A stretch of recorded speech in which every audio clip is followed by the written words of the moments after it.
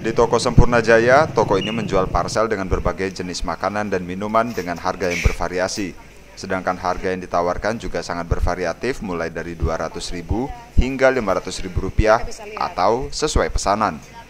Ya, eh, harga kami dari 250 ke atas. Tapi kalau mau request bisa juga di bawah itu.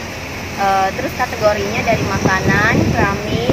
Keramik itu eh, maksudnya piring, gelas gitu. Mau di mix juga bisa.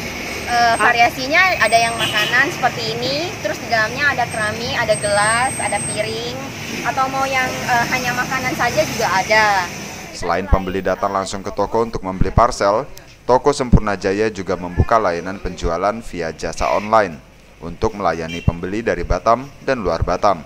Untuk Idul Fitri tahun ini, peningkatan penjualan di toko Sempurna Jaya mengalami peningkatan sebesar 30 persen. Tim Liputan Diamond TV melaporkan dari Batam, Kepulauan Riau.